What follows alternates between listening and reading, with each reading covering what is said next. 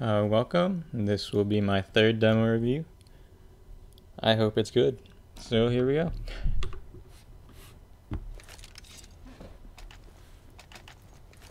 Oh, I'm sleepy.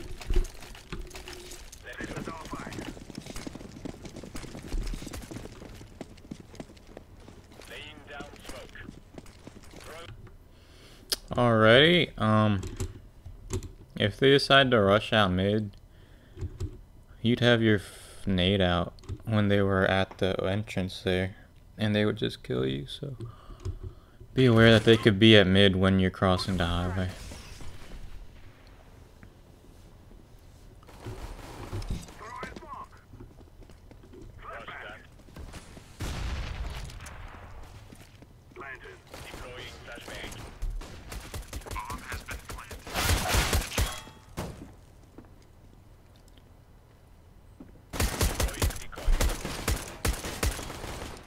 Where is...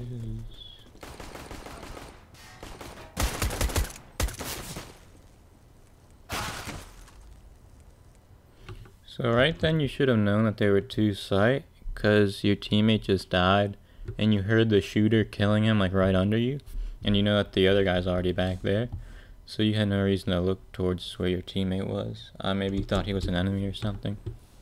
But yeah.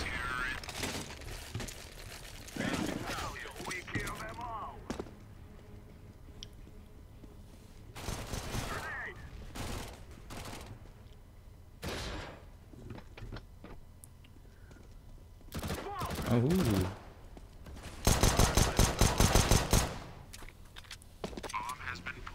That's good. Yeah, you should be a little more careful when trying to get the gun. But yeah, he was really pushed out of B. He shouldn't even be doing that really, so it's not your fault.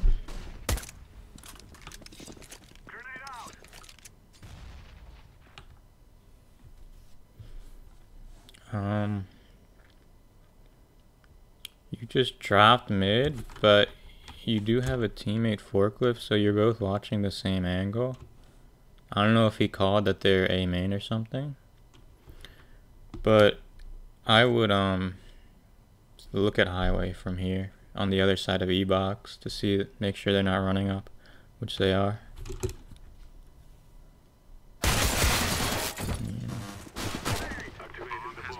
So yeah, you're watching the same angle as your teammate, and unless like they're all coming out of A main, there's no reason to do that. Versus either going to site to look at highway or looking at highway next to E-box. Going to site would probably be the best choice there, instead of sitting on top of it.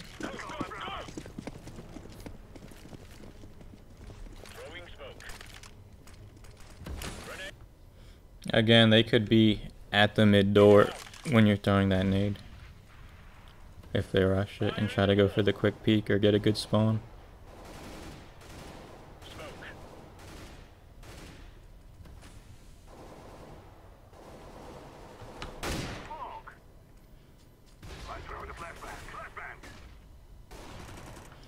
I don't know why people shoot out vent like that, like you just did, because it really just helps the enemy team. If it gets down to like a 2v2 or something, they don't have to break it, letting you know that they're mid. So I don't know, I think it's just an ADD thing, but I wouldn't do it if I were you, like ever.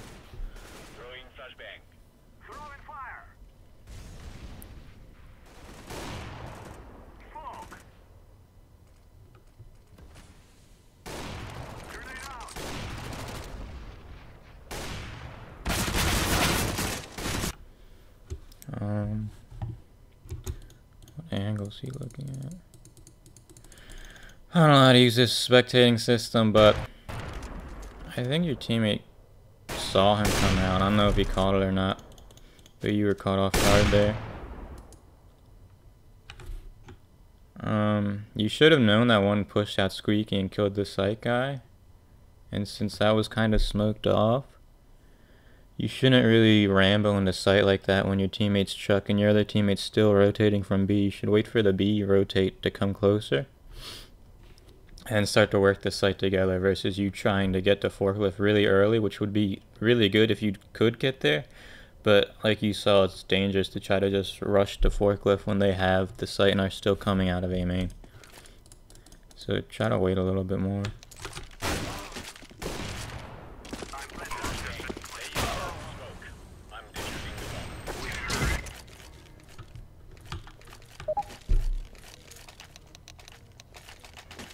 Hmm.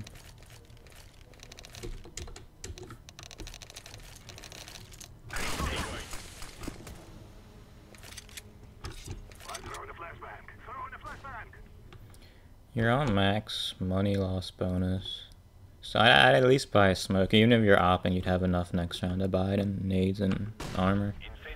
And smokes are really important for mid.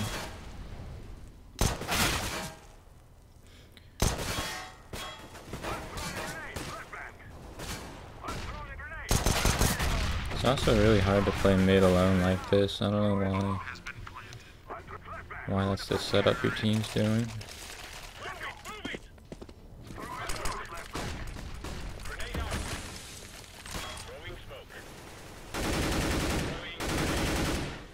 Yeah, if you bought the smoke last round, you'd have enough to buy everything you just bought, besides head armor, but you know they all have AKs from last round still, and they have a shit ton of money because they've won every round.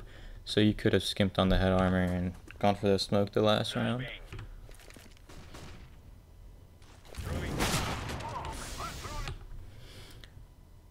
I'm surprised you mollied boost there, because two rounds ago, you kind of were just playing the spool peeking mid.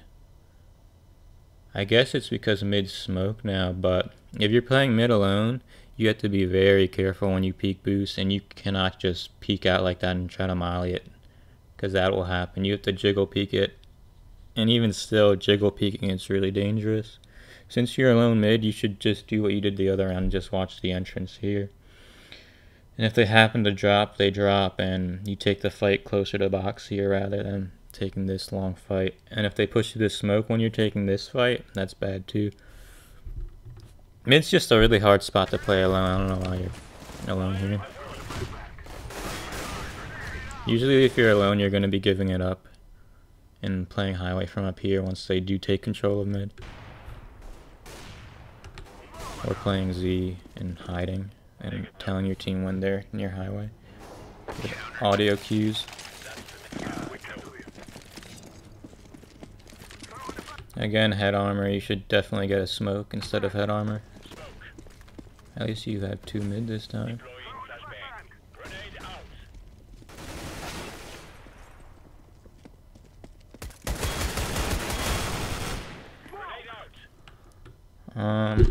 Did you guys smoke mid? I, uh, I'm assuming your teammates smoke mid, yeah. So you don't have to hide sandbags like that. It's a pretty strong spot to fight boost at. And even if you don't win the battle, but you stay alive and they know your sandbags, it's not really like the end of the world because they're 99% of the time they will check sandbags. So even if you give away your position there, it doesn't really matter because they're going to be checking it anyway. And like I said, it's a really strong spot to fight boost at. Especially since you have a FAMAS and your teammate had a P90. You're not going to win if you let them all swarm out. You have to take fights and hopefully win the fights.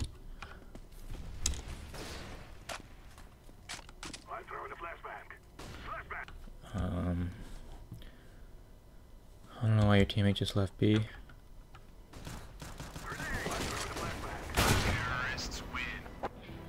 that's okay.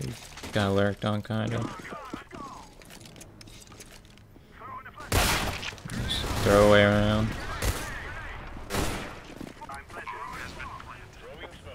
Should I just do this?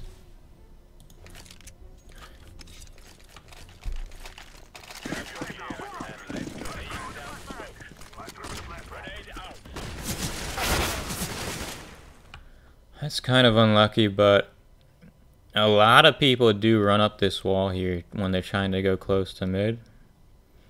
And that's what that's how you die because they know you're trying to do that and they saw you for a second. So you could either smoke it from oh back here, wait for your smoke to pop and then move forward. So you could also throw a smoke when you're running through Z. You can bounce it off the wall up here. You have to learn that one though, but it'll let you smoke mid a lot faster, letting you walk up here without them seeing you for the split second that they did. And also, you don't really need two people close mid. It's kind of really bad because if they go out boost, you cannot trade this guy if he dies. That's if you're far back though. I don't know, forget what I just said. you could play too close mid, but you should probably crossfire in that case.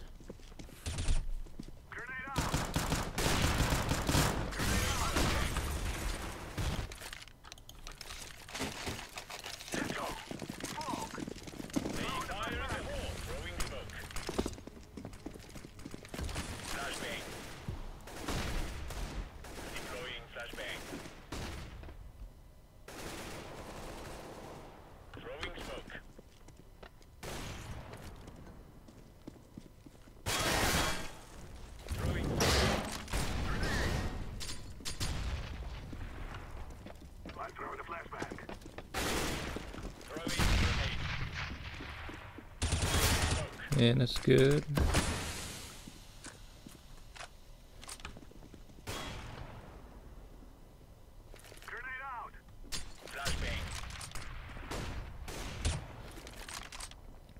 It's actually kind of funny watching uh, Eagles demo versus uh, Nova's demo because I could see that this difference in skill is here. And you do use nades versus how they use it and everything.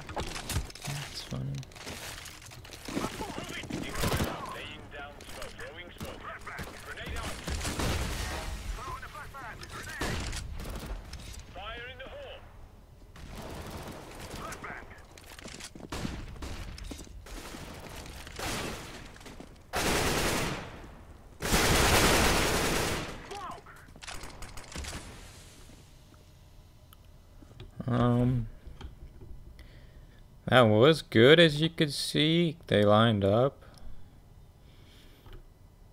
Uh, after you get that first pick, you could either do what you did, but 99% of the time they'll get the trade since they know exactly where you are and they have peeker's advantage. In that case, they obviously didn't get the trade, but that's on them, not really on you, and you can't rely on them not getting the trade. But you do know that they're really close, so you could have the mindset that you do need to battle them. But also, after you get that first pick, you could also fall back a little. Go back to this box, hide there, let them come out into your crosshair. And also makes them look for you a little bit more. Uh, you don't really need to peek there, you could go back back to the box there for sure. Especially since your team was so far away.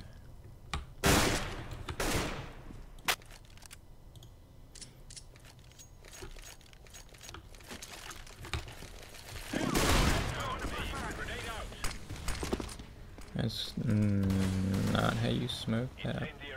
Unless you want it to be a one-way.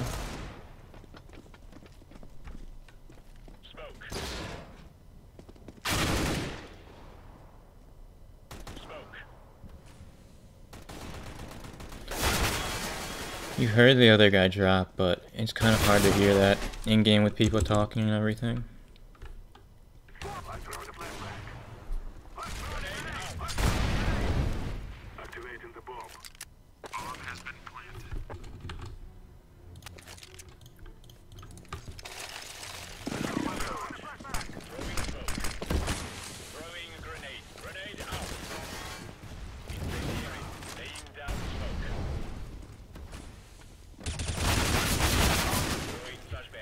Um,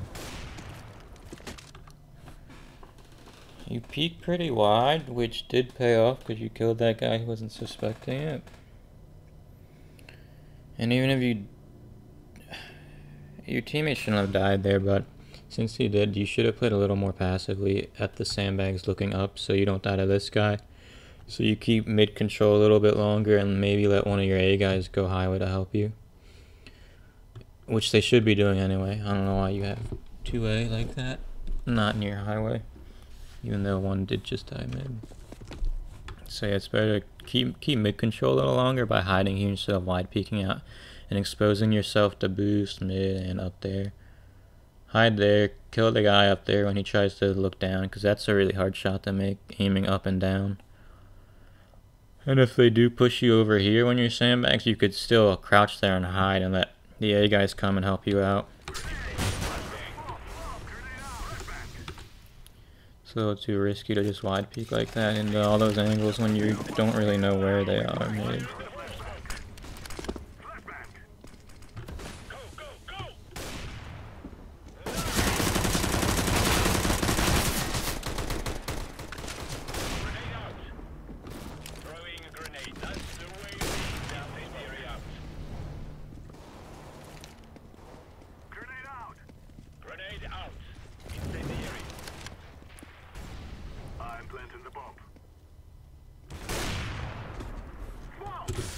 Should try to bounce that molly off like this corner so it'll get in the site more versus back here where they probably won't be.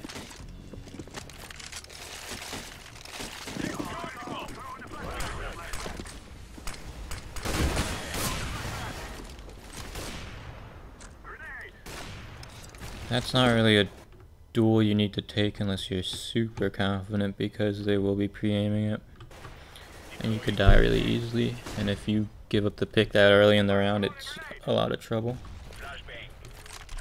But it's not a bad thing to do, like, maybe once a game. It's also not a good thing to do,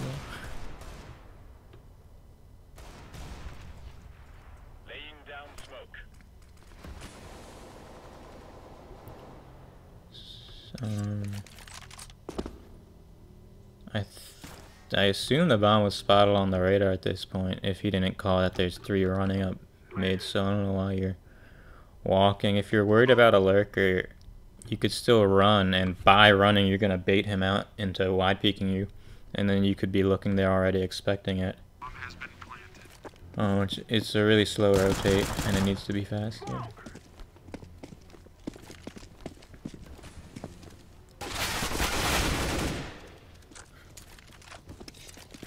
You should have died there.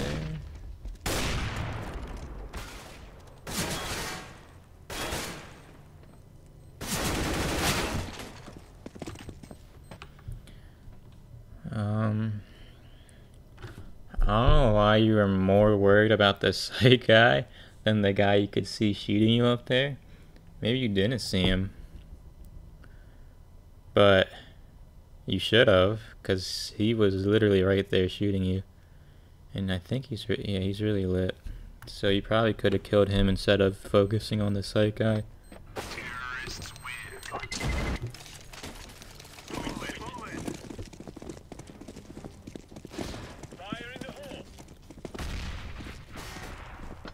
Damn, he just got naded for 92. Okay, right there. You do not need to wide peek and run across like that without clearing heaven, clearing CT, clearing headshot. You just ran and exposed yourself to all three angles, and you couldn't really do anything because you're getting shot by two people.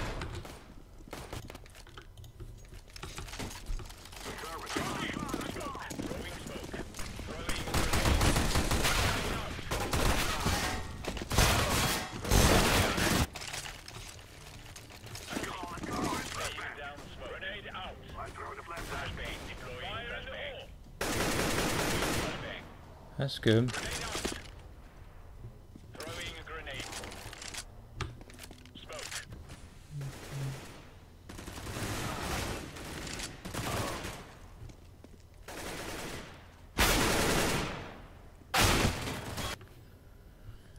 Um, I guess there's not really that much you could do about that.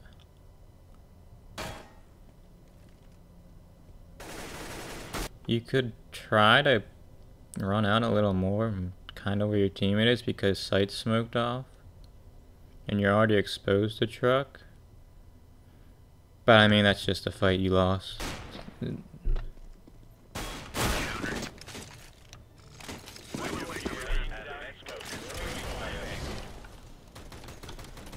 Again, you're on max money loss. You could buy a smoke or a flash.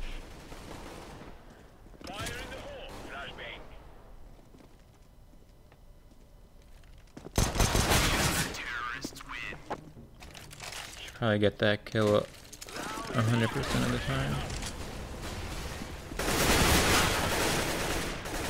Probably get that kill 100% of the time, but I really hate that smoke that they can always do there, because you never know if they're sneaking into aiming.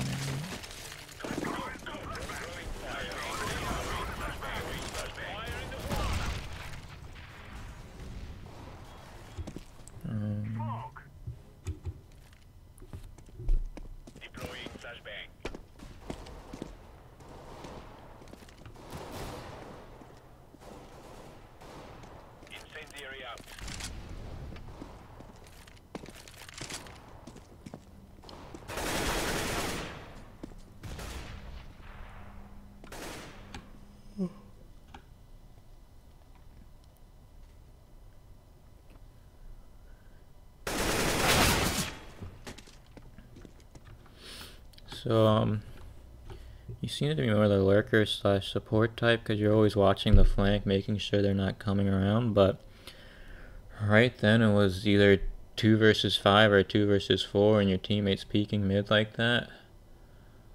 You can make sure they're not like close flanking here, but at that point you need to either help them take mid together or go A together or go B together. You need to do something, but you're just walking around still looking for the flank. Uh, there's two people who did end up pushing, but you still didn't kill them.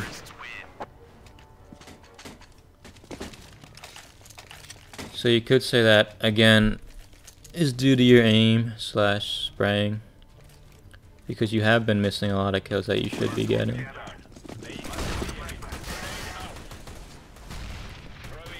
Again, you have a teammate up there and you're sitting sunroom. You could say to yourself, well, yeah, I didn't tell him to go up there. I don't agree with him going up there. But the fact of the matter is, he did go up there. He is up there right now battling. You should play off of what he's doing versus saying to yourself, I don't want to go up there. He shouldn't be up there. Fuck that. It's better just play with your teammates even if they're doing stupid shit.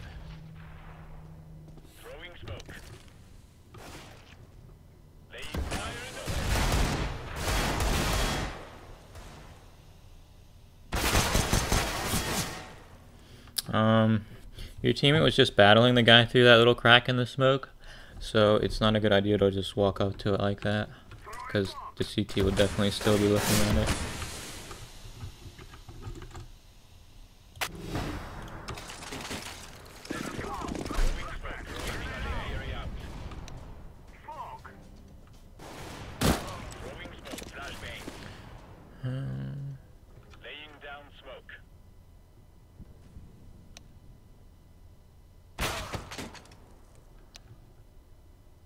Oh, you had a smoke? Well, I mean, you already know what I'm about to say if you did have that smoke.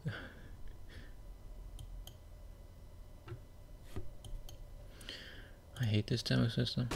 Oh my god, what round am I on? Right? Why am I on round 5? Well, I'm gonna assume you did have that smoke. Yeah, you did. So, uh, let's see.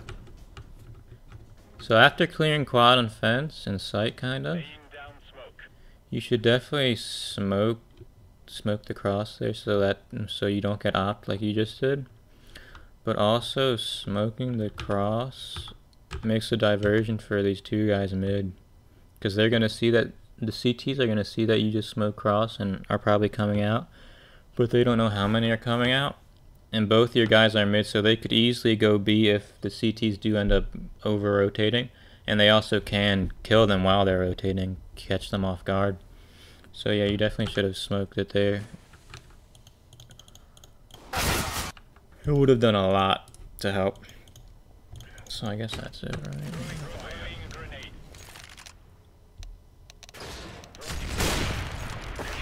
Yeah, so you're obviously a lot better than the uh, Gold Novas that I reviewed previously. So it's not that much to say about you. I'd say work on your aim mostly.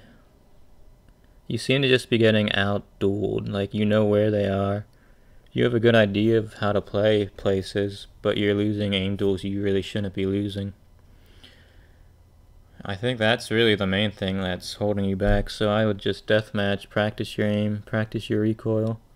Practice your movement too. People don't really think about this, but movement plays a really big part in aiming in duels. Being able to strafe, counter strafe yourself so you can get the accurate shot off before waiting for your own guy to slow down. Like you're holding W and then instead of letting go of W and shooting, you quickly tap S so you instantly stop and get full accuracy. So yeah, work on your aiming, work on your movement, work on your recoil. And I think that's really what's holding you back. But um also you're not really playing off your teammates. Which is not good. It could be your playstyle. You kind of want to be more of a lurker role. But in matchmaking, it's hard to do that unless you're with a 5Q. And it's still good to learn how to entry, to learn how to flash people in as a support versus always playing as a lurk.